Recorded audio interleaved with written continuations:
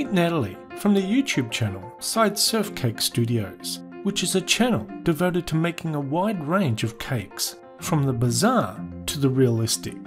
Some of her more bizarre cakes includes one that looks like a brain, a human heart, an oyster, an onion, and even a slice of pizza.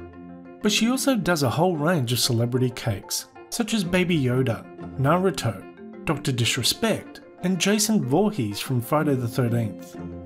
But the one cake that really stood out for me was the one she did of herself, her realistic selfie cake. The selfie cake itself took about 40 hours to make, but the first 20 hours is spent solely on making the base, which ends up being the neck and shoulders of the bust. After the base has been created, she started adding the actual cake itself, which is made from vanilla yellow cake and green vanilla buttercream between the cake layers. Natalie said she chose those two colours specifically because they match her Sideserf logo.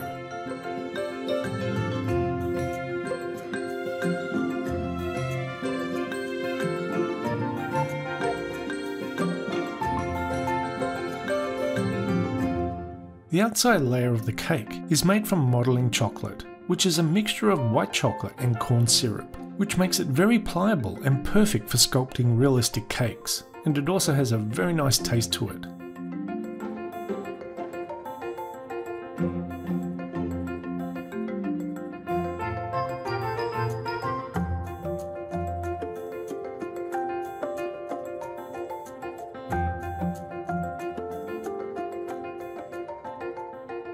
The final painting of the white chocolate is done with diluted gel and powdered food colouring, and Natalie went to great effort to colour match everything from photos of herself to make her selfie cake look as realistic as possible.